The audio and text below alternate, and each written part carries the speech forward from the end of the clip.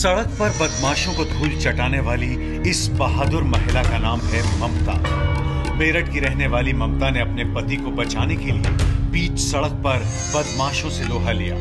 वाक्य उस वक्त का है जब ममता अपने पति के साथ बाज़ार जाने के लिए घर से बाहर निकली थी। वो अपने पति के साथ बाइक पर थी। इसी दौरान सड़क पर एक कार ने उन्हें टक्कर मारी और फिर इसी झगड़े में कार में सवार चार पाँच लड़कों ने ममता के पति पर हमला कर दिया। अपने पति को मुश्किल में घिरा देख ममता बिना डरे, बिना घबराए उन लड़कों से भिड़ गई। ममता की बहादुरी से उन बदमाशों के छक्के छूट गए।